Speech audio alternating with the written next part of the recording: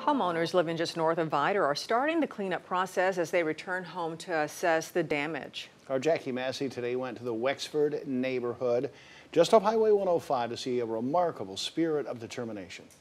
Personal belongings, furniture, and now trash line several of these streets in the Wexford neighborhood in Orange County. But many of these people are resilient, trying to rebuild their homes after Harvey.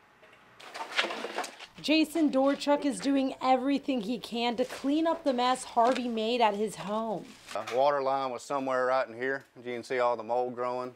This is a picture of what his house looked like after all the rain.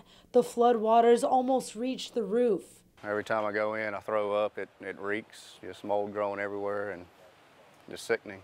You can see the mold on his furniture and household items scattered all over the floor. All the cabinets up to about right here, that's about how deep it got. Jason tried to stay as long as he could, helping neighbors along the way.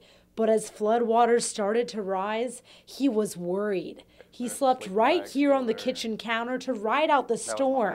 Hungry, couldn't eat, couldn't sleep, just uh, overwhelming.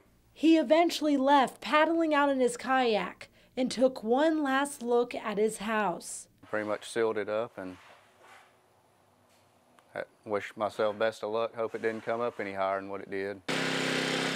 Others in the neighborhood are in a similar situation.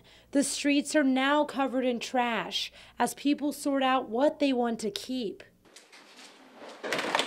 It's upsetting for many to pick up the pieces, but Jason says he is grateful for friends who are there to help. Emergency management officials want drivers to take extra precaution if they're traveling down this road. It leads to Wexford Park in the newer section, and as you can see, there's still a lot of water and cracks in the road. In Orange County, Jackie Massey, 12 News.